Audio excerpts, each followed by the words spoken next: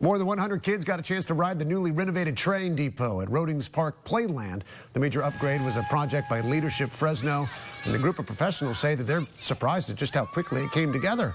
KSEE24's Juanita Adame has the story. Well, it's quiet now, but just a while ago, this train station was buzzing with excitement from kids all over Fresno County here for the reopening of the train station at Playland inside Roeding Park.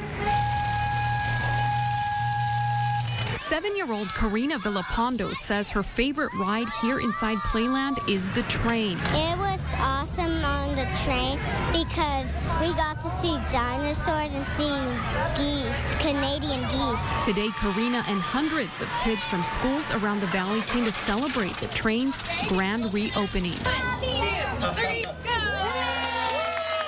To be able to see it now really on track to have one of its most successful years ever is, is really gratifying. It's just been an incredible and rewarding experience seeing this come to fruition in just a short amount of time.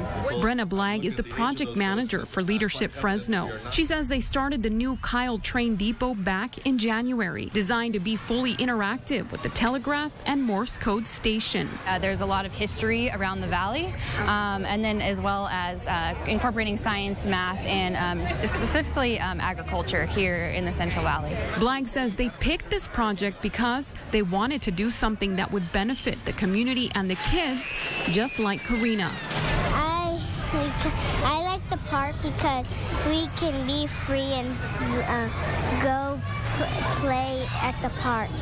Now, this latest park improvement is part of a 14-month renovation project. Reporting from inside Roeding Park, Juanita Adame, KSEE24, local news that matters. Well, still to come, many went to